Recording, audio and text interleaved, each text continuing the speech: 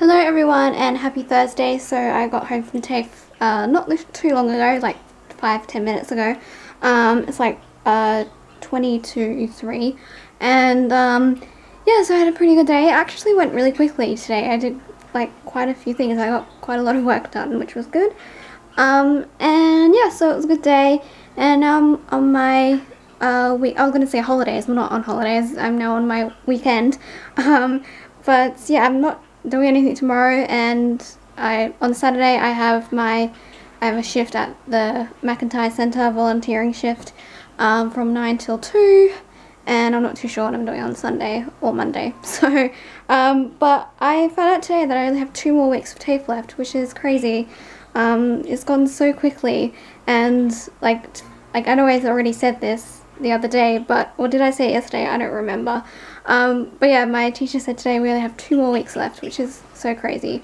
Um, but yeah, anyway, I'm now going to eat the rest of my pretzels that I bought today, um, and just chill out because, you know, it's the start of my weekend, so it's basically my, my Friday. So I'm gonna just chill, and watch my subscriptions and also need to edit and upload yesterday's vlog as well. So yeah, just gonna have a chilled out and relaxed afternoon.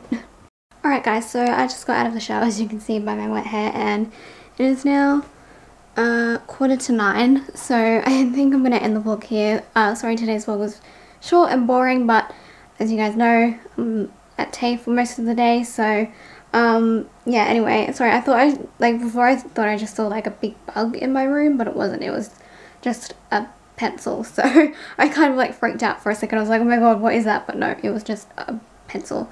Anyway, sorry, um, getting distracted. Um, but, yeah, so I'm going to end the vlog here, and I shall see you guys tomorrow on Friday, where I'm probably not going to do anything for the, for the day, which is going to be nice. So, um, yeah, I'll see you guys tomorrow for day, what day?